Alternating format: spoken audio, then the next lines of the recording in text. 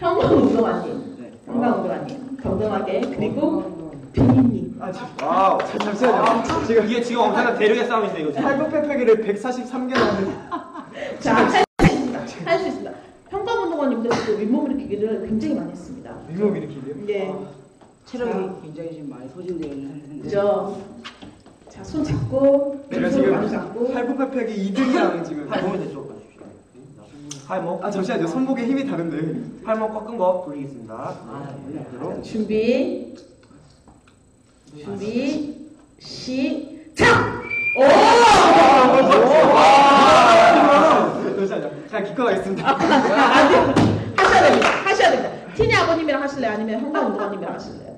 형광운동화님이랑 그냥 하시면 돼요. 그죠? 남자네, 남자. 어, 지실래요? 보이, 보이. 아니면 티니 아버님 이기실래요? 준비, 준비, 시작! 오! 막판에 한 번에 끝내버렸습니다. 형광운동화님. 나좀 좋습니다.